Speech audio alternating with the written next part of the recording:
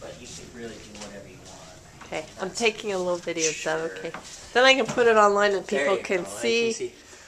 You know, obviously we can move the chairs however you want them. Oh, I don't, I, I have some tables, I don't know if you, if that's kind of, well, tables are nice. I don't know if they're like,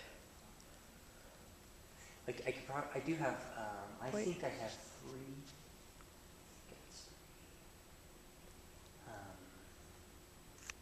You know, s- eight, what are they, eight foot, just fold up tables that we could center in the room or something. yeah, this is a big room. It's big, huh? It looks Yeah.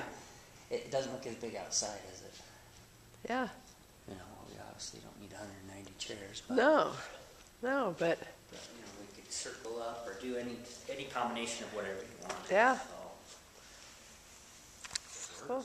It's what don't want to feel like they're going to church Okay. when they go to a meeting. I don't want to be. this would have worked great for our kickoff I don't meeting. wanna be the video. Well, you know, when we have big visitor day meetings, this Oh would yeah, be, that-